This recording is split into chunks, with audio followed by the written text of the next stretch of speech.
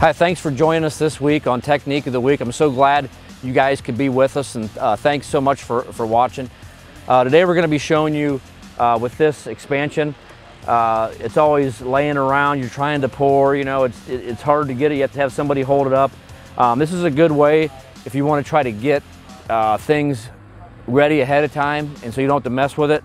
Um, this 3M uh, high strength 90 spray, if you take this, um, we're just gonna take it, I'm gonna spray the back of these. This works, this works best with foam, but it also works with this uh, rubber expansion also. So I'm just gonna spray the back of that. And then I'm also gonna spray here on the block. We need to let this set up just for a second and let it kind of tack up before we try to put it on there. Once it tacks up a little bit, I'm gonna hold it up to my line, stick it underneath there like that.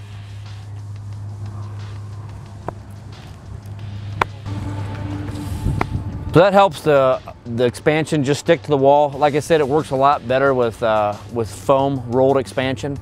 And, um, but this, but it works for this also, you, if you get the good spray.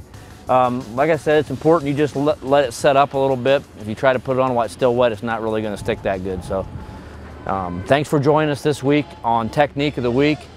I really appreciate everybody watching this and uh, we'll see you next time. Thanks.